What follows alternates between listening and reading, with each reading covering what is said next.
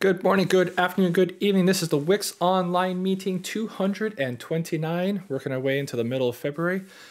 We were just talking about, I can't believe it's this already now, and it feels like the year just started. And Bob's like, well, it comes around this time every year. And I think he says it better than I do because that's clearly not my line.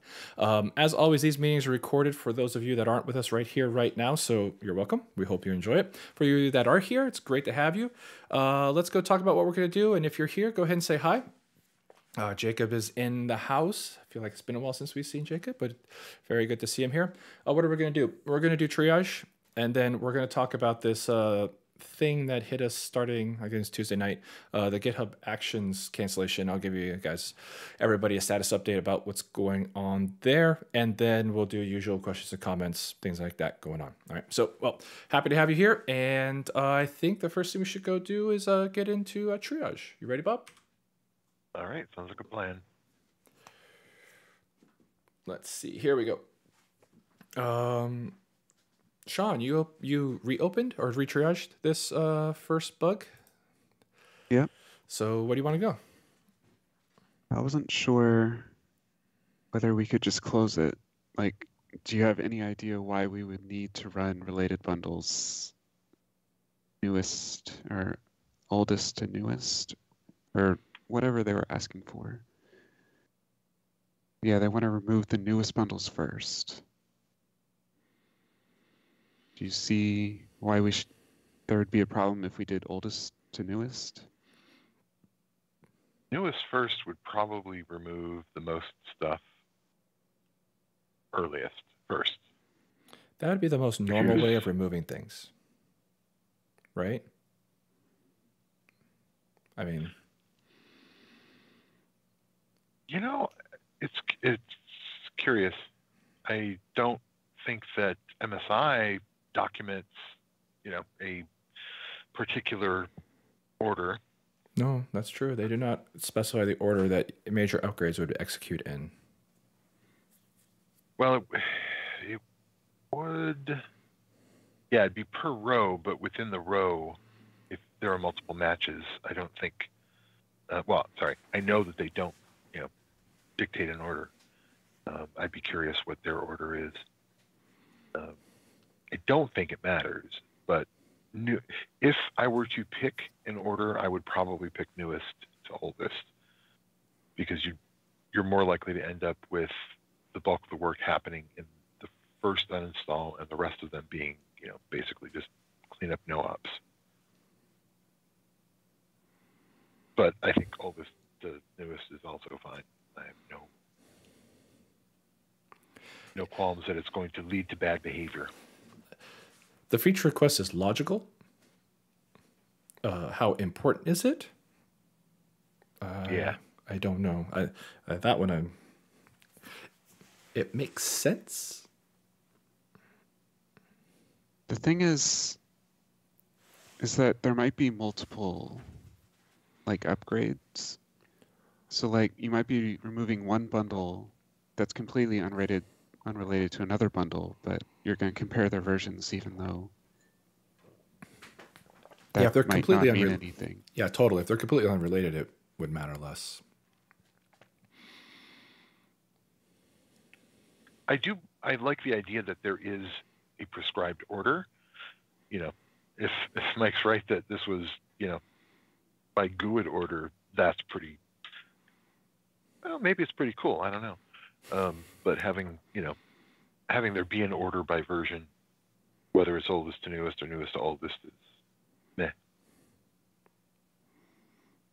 Yeah, I don't really care. I mean, today it's going to do oldest to newest. Oldest. I think that's fine. To newest. Hmm. Okay. I mean, that one's interesting too. I, I, I could I could see that argument as well. Oldest to newest would remove all the ones that ha- will have the least impact, and then the newest one does the most work at the very end, presumably, with the least amount of interference from all the older ones still in the machine.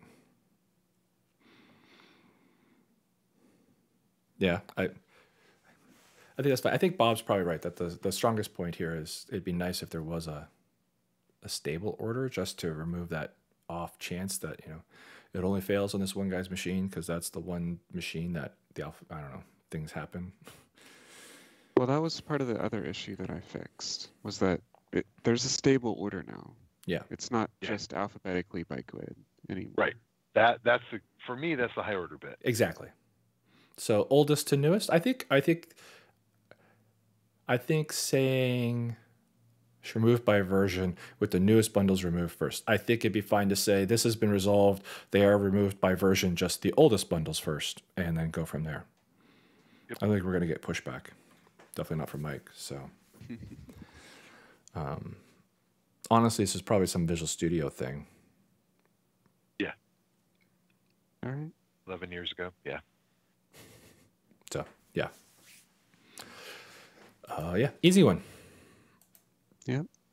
All right, so that'll go away. Um, I did not get a chance to look at this because I've been looking at what we'll talk about next instead. Um, but I, I will. we'll get to this. All right. Wix deployed config files merging. Oh, this is guy wants the magical merge stuff. Figure out what to do with my config files and just merge them for me. Thing. Um,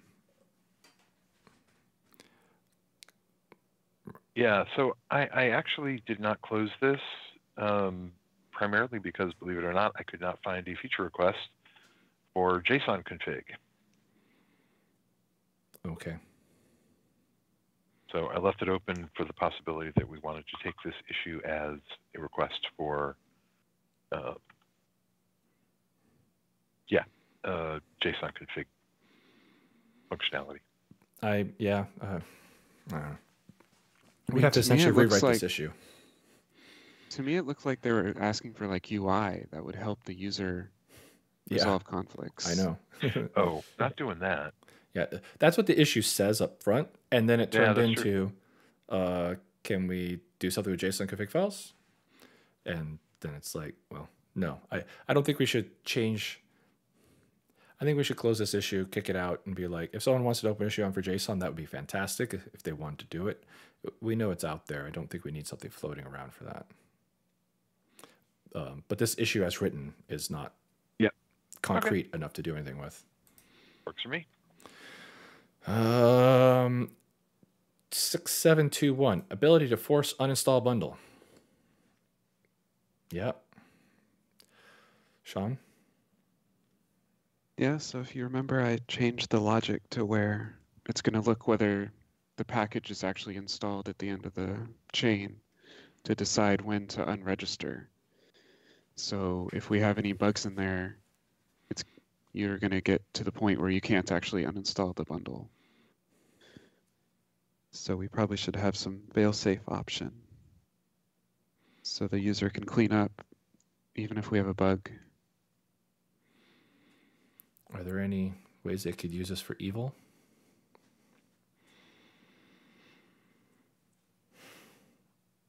For- Maybe. I mean, it might leave some things on the machine, Right. I guess. If they don't have it.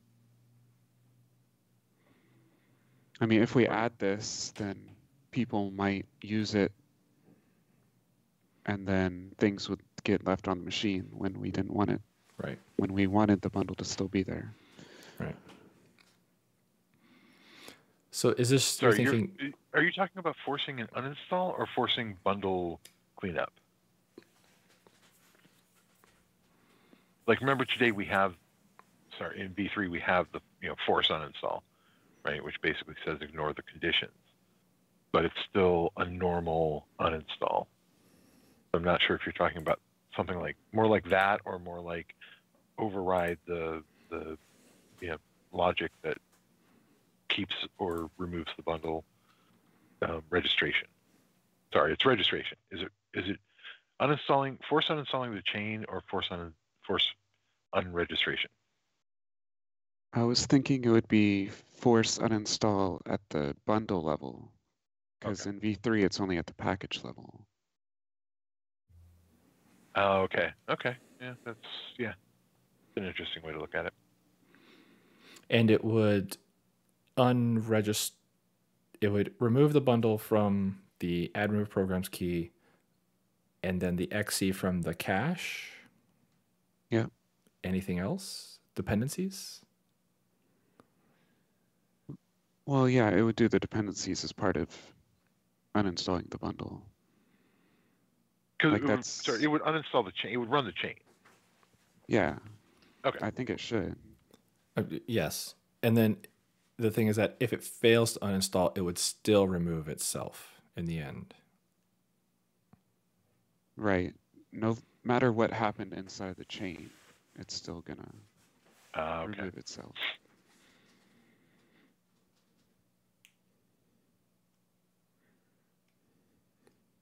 Yeah, that's interesting.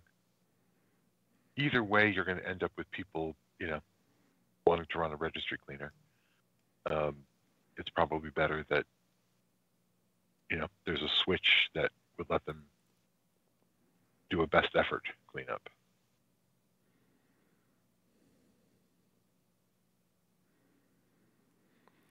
Uninstall everything. Would it remove the cache files?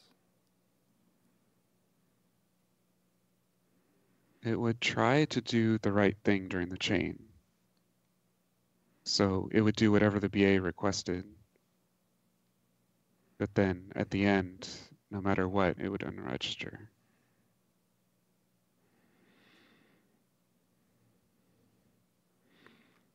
Ignore basically ignore any. Would it ignore package? It wouldn't ignore. Uh, would it ignore package failure? So if a package failed to uninstall, it would still un- remove itself. Yeah.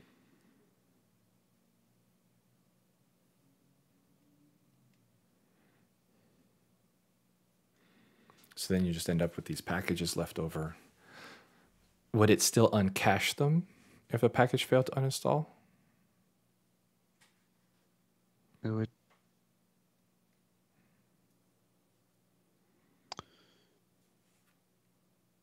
Probably not, Okay. unless I made it go out of its way. Yeah, I'm just I I- I don't I don't have I, I don't know what the right answer is in those cases. Um, I'm just trying to think through all of the where are we going to end up with when people use this thing because they're going to use it like oh look this cleans it up yay and then with then find out that stuff was not trying to figure out how much is not actually cleaned up if you use this. Um, so the cache should be one in the case of a package failure. I mean, I guess we could force clean all the packages, the cache for each package. Of course, uh, you know, a, a not insignificant number of removal failures are like, you know, prompts for source.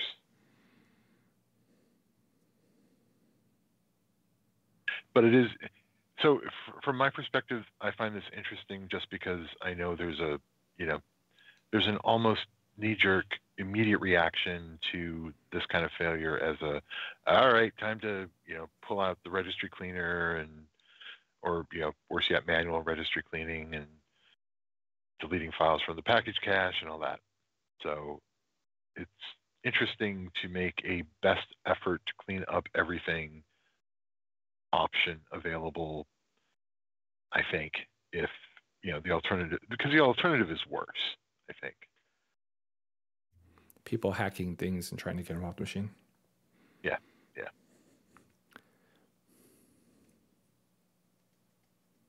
this this is the kind of thing that's been like in my mind a uh, um, like a burn utilities pack, right? It's um, you know some things that can go and clean up uh, dependence. You know, look look for look for orphans basically, um, and in the time honored treatment of orphans everywhere, delete them. I, I'm not. Sorry, it just occurred to me. Uh, we're finding orphans. I think just Annie would them. take offense to that. Uh, Yeah, Where's the better tomorrow? Um, sorry. Um, Not all of us with shaved heads are, you know, rich daddy warbucks types. uh, Guess which of us doesn't have much hair? Uh, let's see. Um,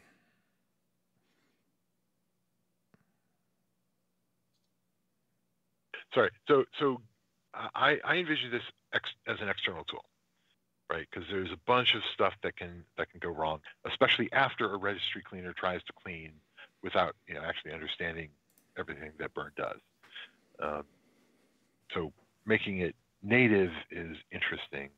I think the functionality should live somewhere at some point. This, to be honest, this isn't a yeah. I wouldn't consider this high priority at all, but it is one of those things that we could slip in that you know makes things slightly better um, in the case of you know stuff that just doesn't uninstall you know correctly because it's annoyingly easy to get into that state um, hopefully you never ship that but that has happened as well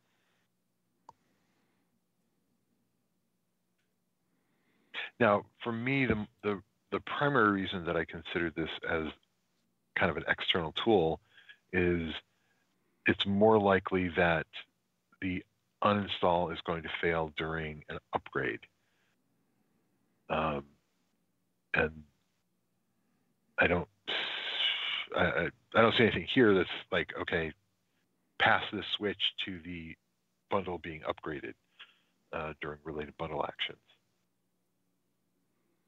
So th- this is more of an, you know, th- this is more of an end state. Bring out the hammer before uh, before bringing out the you know sharpened sledgehammer of a registry cleaner. Yeah, this is trying to give an alternative to people running registry cleaners. Right.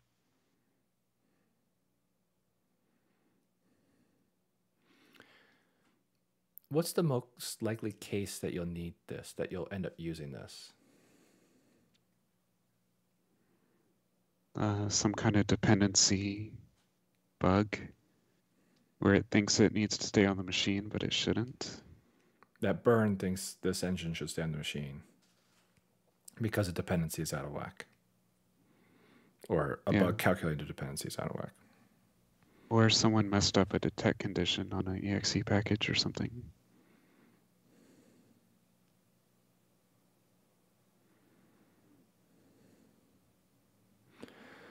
Right. So where MSI has a force recache reinstall where you can at least stomp over the MSI that's already installed to get new logic there to then uninstall it or whatever, right? Here you don't get that option with a bundle. So the idea would be that this thing would let you out to get that thing off the machine after all. Yep. Mm-hmm.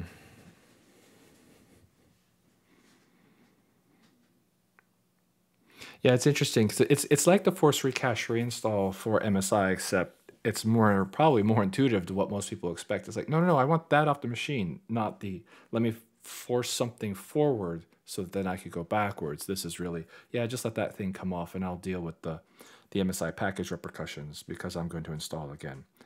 And hopefully you use it in testing, not in production.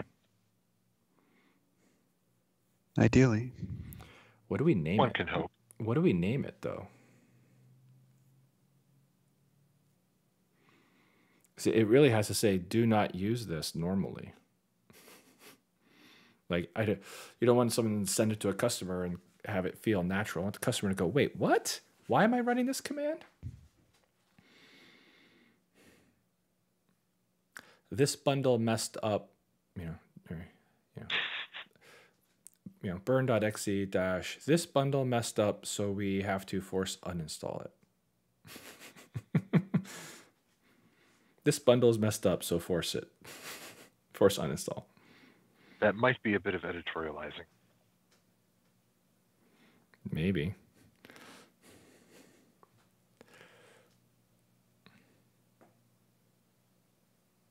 Yeah, Yeah. I don't know. Because we don't want to just call it force uninstall, because then people will be like, oh, yeah, that's the uninstall, but the one that works. You're like, no, that's not the purpose of it at all. Um, Well, we don't have to document this. This doesn't have to show up, you know, in the in the Wix Standard BA help pop up. But it will somewhere.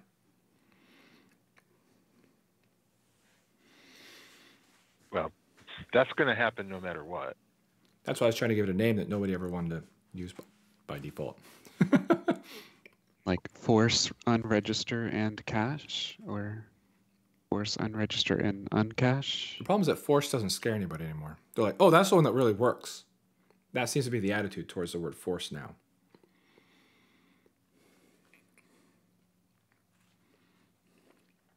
Unsafe cleanup. Ooh. Unsafe may be the right keyword. Because it's actually correct. It's not safe, right? We're not. we're cleaning up, whether you like it or not. We're ignoring the dependencies, right? So as the bundle dependencies. yeah, But like, that's a little a little weaker.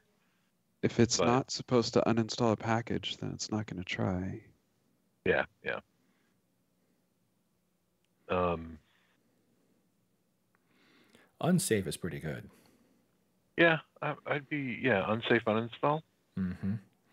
Jacob's idea of purge isn't bad either. It'd be unsafe purge, but the problem is I think purge probably oversells what it's going to do. Desperate. True. Desperate housewives of setup land. I don't know. Um, um, Pretty please uninstall.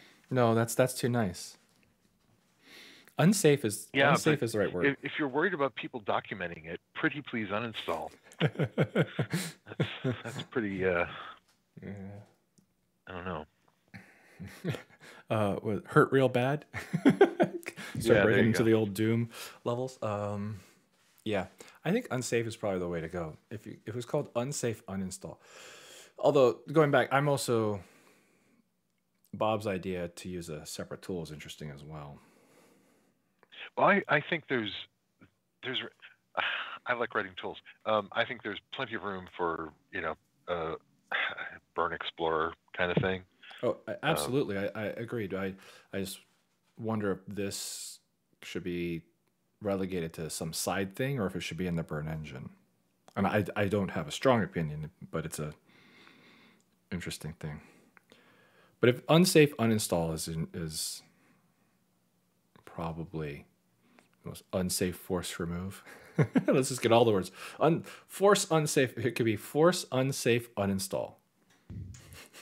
then you have to sit there and, and go through all the double negatives in your head to see if it's actually what you want. Force desperate unsafe purge uninstall. I think unsafe uninstall is probably a decent one because it, it does say this is unsafe. You're like, wait, you're asking me to uninstall this unsafe? What are you doing to my machine? And that's really what you want people to think when you're doing it. Say, well, it's unsafe. We we're removing it anyway. Best of luck. Uninstall of last resort. Yes. All right. So I think that would be the way to go. Are you thinking this in V4 right now, Sean, to head off any problems going forward? Yeah, probably a good idea. Yeah, I'm not against that. All right. Uh, seems reasonable to me. Unsafe uninstall. Yeah. Change that. Are you volunteering, Sean? Sure. Yay. Unless someone else is going to do it. It sounds like fun. Uh, I'll get to it after I get my other one. Things. I'm just trying to get it below 50 I- so I can have less than three pages of bugs assigned to me. I think Rob was kidding. Um, I added this bundle uh comment. I had this bundle downgrade are supposed to yeah, this is just making Oh. sure Bob doesn't forget about this issue that I brought up. ah got it. Huh? Very What? good. He already forgot. I heard see? my name. he already forgot. All right. Uh, yeah. So does this go to Bob then? Is that what that says?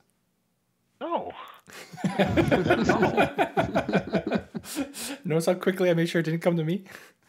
See, this is a problem because I'm the scribe. I'm like trying to fill out the previous bug, and you're on off to the next one, assigning me work. What the hell? Six seven two two. All Uh, right, well, Sean gets the next bug then. um, maybe I don't know if the next book sticks around. I don't know what the next one is. All right, uh, here. Oh, all right. Bob took it. Then I feel that we're in a safe place. Okay, great. Uh, six seven two three VS extension needs to support VS twenty twenty two. Oh, done with change. And then there's a closed duplicate of this. Uh, because that that was another bug requesting the same in Wix 314. right. So I did not close this one. Ah, this isn't 314. This is not in 314. Sorry. This bug would be against 314. Correct. We're, Yeah. We're,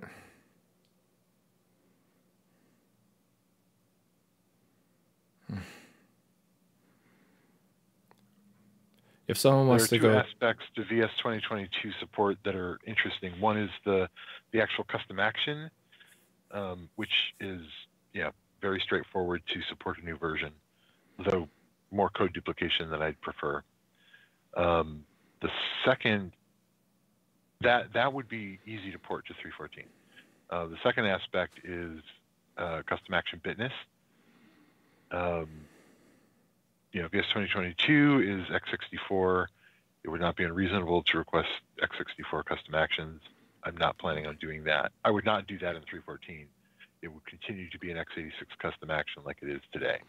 uh, Uh, I- custom action select bitness selection in that I did in, in V4 requires a new uh, custom element yeah, because no, we can no longer rely on Yeah, property no. refs to, to pull in the right custom action. yeah, yeah, so no, uh, would no, not do that in 314. no, no.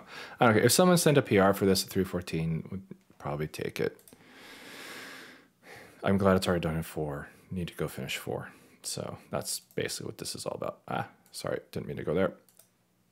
Uh, so yeah, But would you do a build for it? eventually, eventually we're going to do a 314 build. So yes, I mean there there will be more 314 builds as the ramp up for uh, helping port to Wix 4 comes along. So would I rush a build to for this? If someone asked really nicely, I'd go do it. But I really don't want to spend any time there. So I mean, it was it was Christopher Painter that was asking for it, and Oh. he's the one that did the 2019 stuff last time. if he asked nicely, we take the PR. Well, that's and- the linked bug. Okay. Well then, then, then yeah. If, if someone sends a PR, we'll we'll do the the min, the not the middle, the the copy part. Right. That's fine. We take it. We do a build for him. Chris has been around for a long time, so he, we do it for him. Yeah. Um. Well, then how about we close this one and I will reopen the other one? I don't care. How's this one different? Sure. Um, V3 and V4, 2019. But that's not true, right? V4 goes to 2020. Two, 2022, uh, right? Yes, Okay, good. So for the last six weeks or so. six weeks. All right, so not that long. Okay, that's fine. Do all the things for 2019, for 2022, and 314. Fine. Yeah, fine. Mm, I, I don't care. Whichever bug. I don't. Sure. we aren't fighting for who has the highest bug open count here. Thank goodness. That was a thing at Microsoft, which always annoyed me. Testers out there trying to prove their value by opening more bugs which was a very bad incentive for getting lots of duplicates and creating lots of work on the people that turned around and had them fix those bugs. I'm sorry, just busy. Sorry, that's my sensitivity. I don't care which bug we pick. Doesn't matter. Um, either one is fine. And if someone sends the PR 314 to do the detection, that's basically copy paste of 2019. Fine, we'll take it. And if Chris really, really wants it, we'll get him a build for it in a faster. All right. 6724. Uh, yeah, this is a good point. Set variables added can set a value to set a variable to a static value. The analogous set property would should be the analogous set property in MSI evaluates the string. Yes, okay, that's what I was looking for. Evaluates is the keyword here. Right. So you can set it to, you know, the value x, but you could not have the value of x. Right. Uh, change the type attribute so that the source has a type and the target variable has a type. Mm-hmm. That's interesting. That last part, keep the existing type attribute so the source has a type and the value and the target has a type. So you're suggesting add a target type essentially? Sean? Yeah. I guess so. And we can't do it all with just one type? I mean, you're, you're basically saying take this. What does the target type allow us to do? Because allows you want to be able to specify the source as a formatted string, but the destination is a literal string. Oh, you want to make this the destination a literal string, right? Yes. Right. That that's the real change. I was trying to turn a string into a number, and I'm like, is there really value in doing that?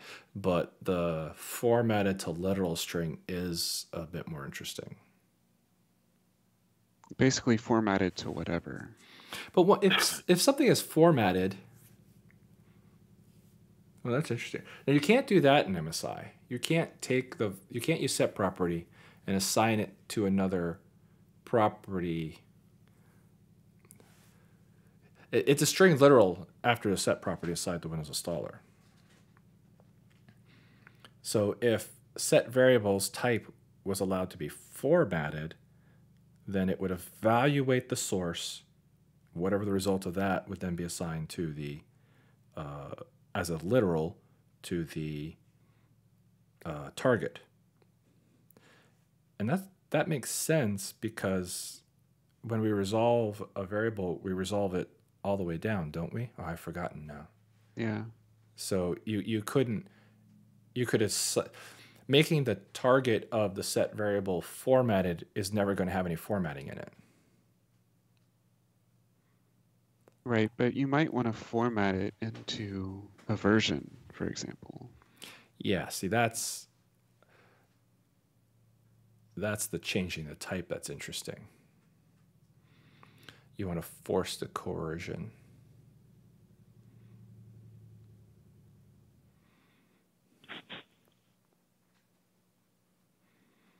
We don't co- coerce today? Or this is just with the set variable element, right? This is just the set variable. But like registry searches always give you strings. So if you want to do certain kind of comparisons, like a number comparison, there's no way to do that. Oh, that's right. Type is like raw. That always returns a string. You can't say type version? No. What are the other ones? Oh, like paths, right? No, numbers, strings. Yeah. Formatted strings. No, no, no. Sorry. Regis- the, like registry search. Registry search has a type attribute. It it only allows raw and number. Yeah. Number coerces, though, correct? No, it puts the it keeps the hash or whatever.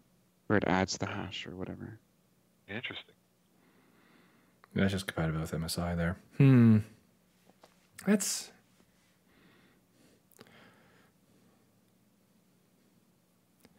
Yeah, it's essentially you want to it's the yeah, see, it's the set variable you want to declare the type of the target.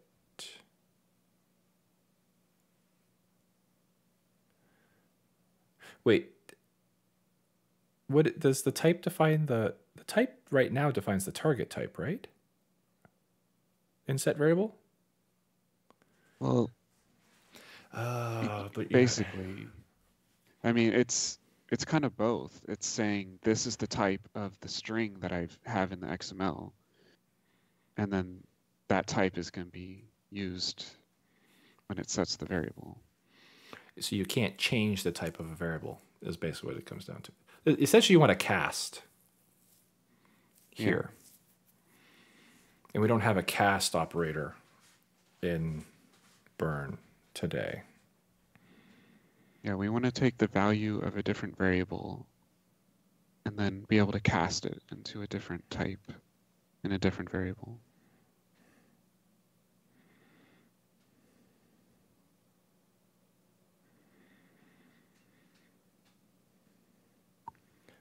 So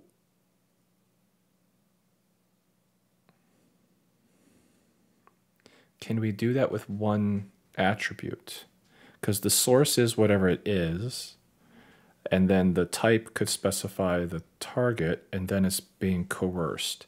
So the tricky one then is the formatted string, right? Because all those other scenarios would work. You could then take a source of a version and say the type on the set variable is string, and it would convert the version into a string, and you'd be off the races. And vice versa. It could be a string version, and you could say a, a string that happens to be a version and assign it to a type set version to a variable. Now you'd have a version of type variable. So that type value can be used to do a cast now.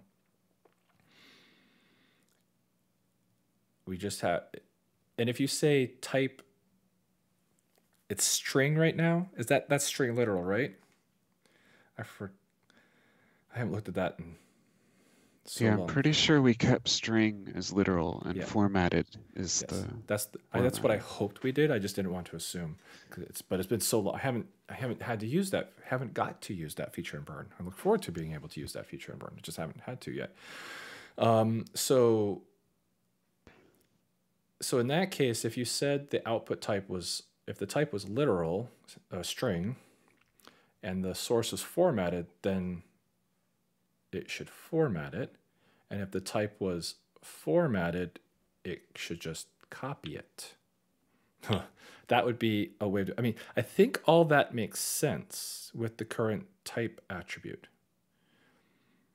Essentially just saying, we know what the source type is. What do you want this type of the variable? And we will do coercion like we would any other time to jump over. And if the type is string and the source is formatted, then we will format it into the string literal. Does that make sense? But when you're authoring it and you want a string, it can't tell whether the source is a literal or a formatted. Uh, you have a hard coded value. Right, so we won't know the type of that. Well, no, if you say string literal, then we will attempt to format the child, the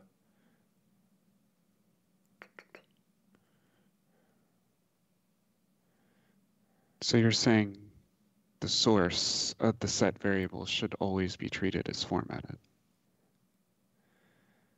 I think so. I was working my way to that point. I think so. I'm, I'm trying to figure out if that has any problems.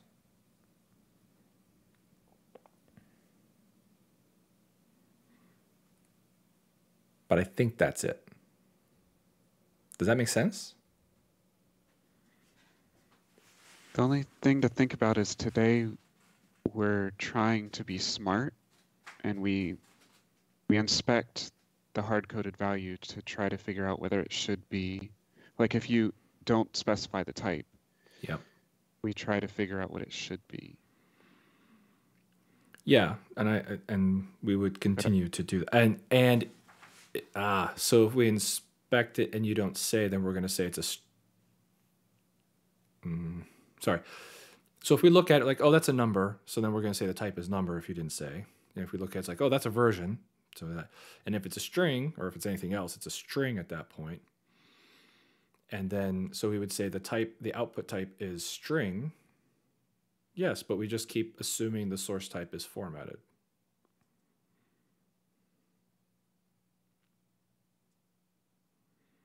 Yeah, I think that's fine. I think it also behaves the way people expect it to then. I'm going to get a string literal out of this, unless you say it's formatted, right? If you say the type is formatted, then that string just gets copied over. It's like, yeah, okay, we won't do any evaluation because you asked to take this formatted string and put it into another formatted string. There you go. It has not been turned into a, it has not been evaluated. Boom. which could be really cool. You could do some interesting things with that, I think. Yeah, you could end up creating formatted, you could end up at runtime building up formatted strings. Yeah, that's that's interesting. So I, I think it all works if the source type is considered formatted string. Yeah. And I think it works correctly for everybody else. Yeah. Cool. Cool, cool. All right. I think that's that one. Uh, is this a four? Are four we thing? doing this? that was my question. Thank you. I'll let Bob go ahead. Yeah, I can do Are we doing this in four? Yeah. All right. It's kind of finishing a it's a finishing touch on the set variable because set variable is new in four. So And the formatted stuff is new as Yeah, well. and the formatted stuff is new too. That's a very good point. Yep.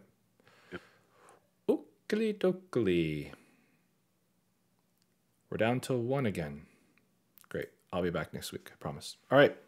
So that was fun.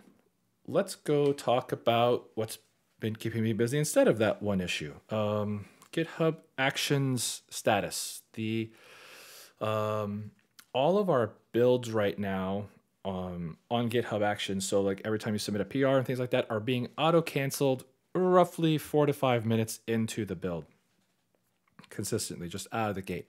It seemed to have started uh, Tuesday evening, and uh, and it seems to be only happening to us. I've asked around, and doesn't seem like anybody else is hitting this. Uh, so on Wednesday, uh, I opened a ticket and GitHub is investigating that ticket. I've been assured they are looking at it, and it is. They have gone through. It was funny. It was being explained to me as like they're going through the seven stages of grief, and they're they were currently in denial that there's no way this could be happening. Um, fortunately, it can repost consistently, so they very rapidly got to uh, not acceptance. What's the one after denial? Um, anger, whatever. Um, everyone so far that has uh, dug into this at all has come to a similar conclusion. We think it has to do with the fact that we're updating Visual Studio on the build machine to add the ARM binaries. We need those because, well, we build for ARM and they are missing in the GitHub image. And the theory is that Tuesday, being Patch Tuesday, yay, did you have your reboot this week?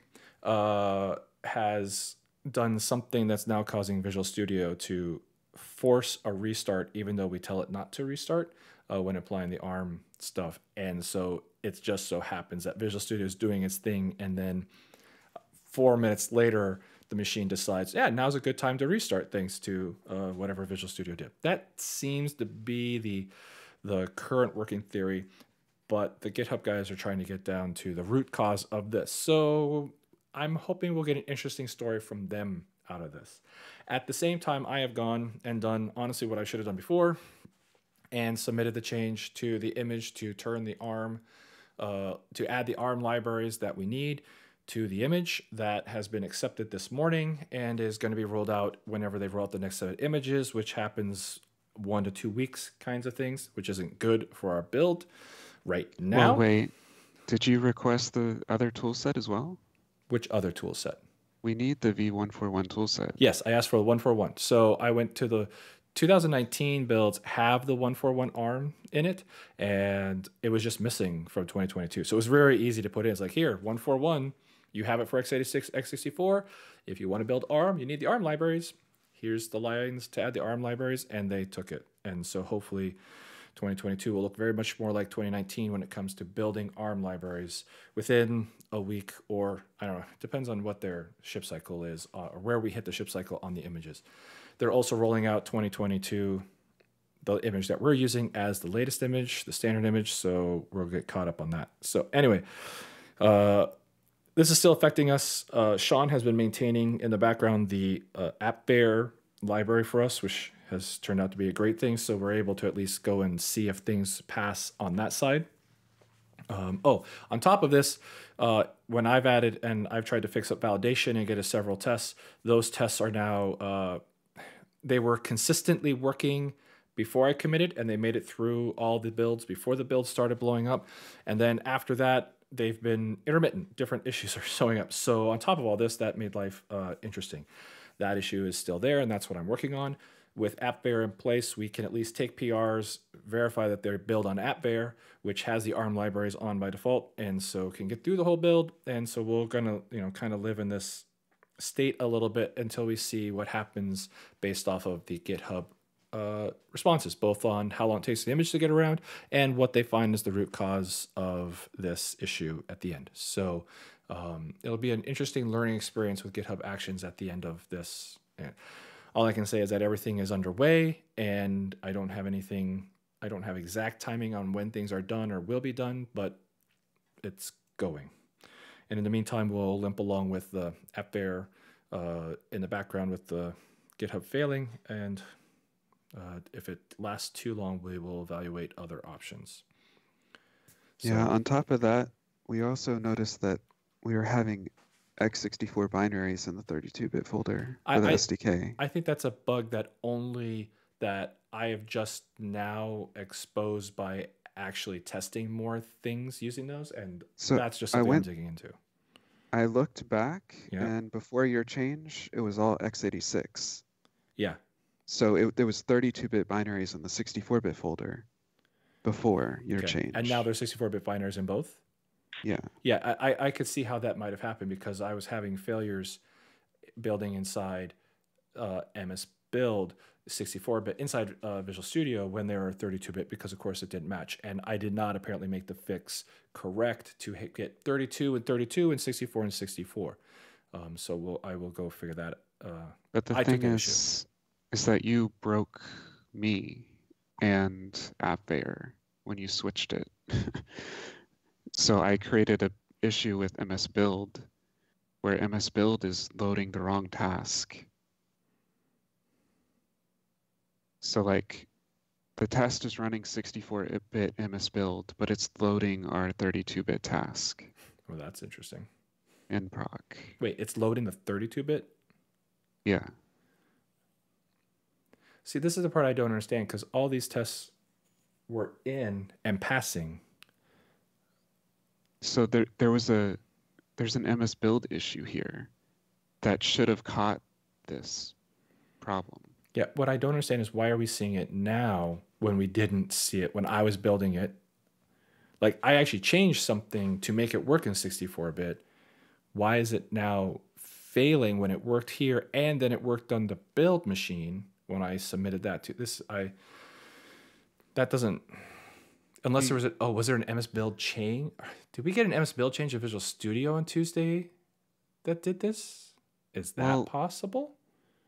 Something that's different is is that I don't use the developer command prompt initialization.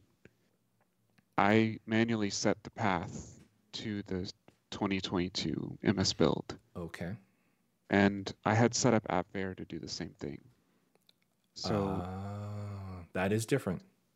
So that's one wrinkle in that MS Build issue is that the the whole the issue with loading the wrong DLL is only exposed in my setup. Okay. And not your setup or the GitHub Actions setup. Yep. That'll be interesting to find the root of that then so that explains. So you don't run the uh, you don't import the developer import um, developer command prompt to get all the libraries and everything hooked up. Okay. Well then, so does that mean we? Well, I'll go fix it, get the binaries right, and then we'll figure out what we do with MS Build after that. I mean, so uh, my guess is is that you might have to keep those tests skipped until we figure out the MS Build issue. All right. Well, I guess I'll have to go figure that out then. Because my guess is that once you get the binaries correct, it's going to start failing. A different way? You say it's failing for you now. Oh, you say it's going to start failing for me? Well, okay. Yeah. That'll be interesting. All right. Well, that's good to know that I may have non things non-related to having the wrong bitness binaries in these folders that I'll have to watch out for. All right. Um, yeah. So it, it this is we had a cascade of issues hit all Tuesday night after everything was working Tuesday afternoon, and I went to go get kids. I was like, great, everything passed, it's all green. Come back and everything's blowing up. And I'm just like, uh, okay, that's odd. Because nothing was bypassed to get here. So, um, patch update Tuesday for the win, right? Yeah. All right. That's the state of that. Fun stuff. Other things people want to talk about. Anything else going on in the world? Uh, things out there to discuss? Um, don't have. I'm trying to get myself down to two pages worth of issues, which would be 50. So getting closer, but still more work to do. Do you think you can do the exe package bugs for me? Oh, those are blocking you? Okay. Yeah, I'll look at those again then. I don't have huge priorities. I have two large things to do uh, cab spanning and then all the patching stuff. And at some point, I'm just going to have to, well, I'm going to prioritize those and just start just trudging my way through those last, I hope, the last two big things. Um, but I could do the exe package uh, fixes first before I do that. Yeah, I'm looking at the validation failures right now, of course, uh, but I'll look at the exe package uh, commands next. Or it's detect, right? The detect stuff, detect condition, Yeah, detect condition and yeah, I guess permanence. it's two bugs Whatever. around that. Yeah, it's, yeah, all around the same thing. Yep, yep. And then it would have been nice to have the patching stuff before I made all those dependency changes. So it'll be interesting to see how the tests do once we get all that patching stuff working again. Yeah, so yeah, one of the things I'm going to do, I have a commit already started. Is that uh, I found a number of tests were still skipped and didn't have GitHub issues tracking them, and so as part of doing the validation work, I added validation for merge modules and found just a series of bugs in there, which means, well, a lot of our tests were disabled in that whole area. So it's like, ugh, okay, great. And added a bunch around merge modules, things like that. So that just was like more work than I expected for. Honestly, I thought for something that I already had was going to be easy and done. By the way, I'm filling space. If you guys have questions from the chat, uh, that's mostly what we're leaving here. But this is, you know, we're catching up here. So um, I want to make sure you guys have enough time to type and have it go out to the internet and come back to me to make sure we have time to answer that. Um, anyway, so yes, the patching thing is um, I'm I'm not looking forward to it, but I've pretty much always dreaded getting into patching. I mean, it's it's not my area of expertise, and I don't enjoy it. But the people that do work on it aren't working on it anymore, so I have inherited all of that and get to make it work. So it'll be fun um, at some point. I'm looking forward to how patching will work in, Wix before. I think it'll be a big improvement over over Wix three. Well, yeah, it yeah, it be it's way less complicated from a user point of view, and it's not more complicated internally, but Right. that's unfortunately not saying nearly anything given how complicated patching is. Nope, nope, that's true.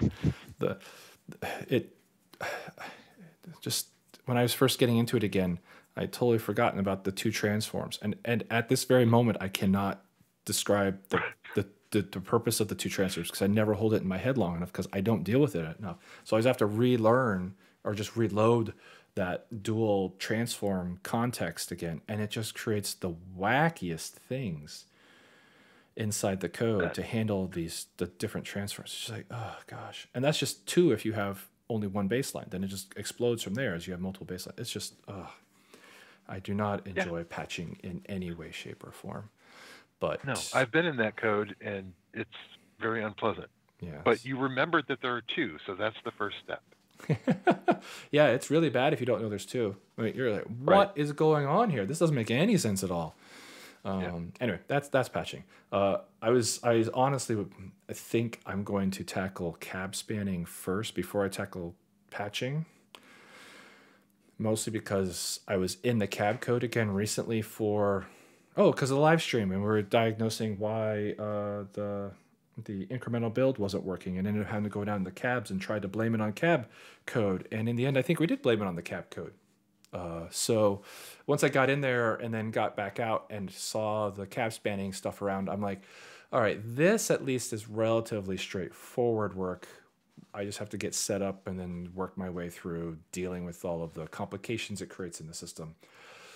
But it's it's you know it's not a multi-week problem I don't think like patching could turn into.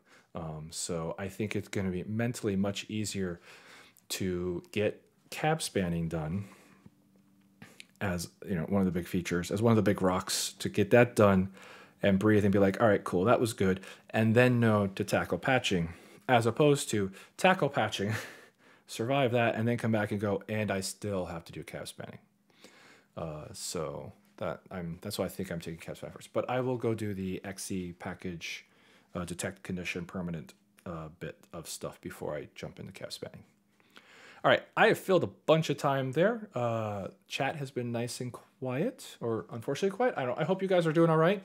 Um, we will be back in two weeks. I think that's normal.